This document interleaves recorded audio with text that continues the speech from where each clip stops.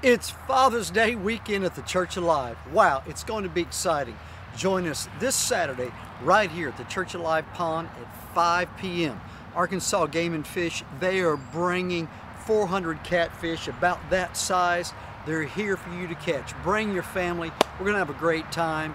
Just, just come out here and be with us Sunday, 9.30 a.m., a Father's Day message. Listen, of all the Father's Day messages I've been a part of, this is one you will not want to miss the heart of the Father. This Sunday, the Church Alive, Saturday and Sunday, Father's Day weekend.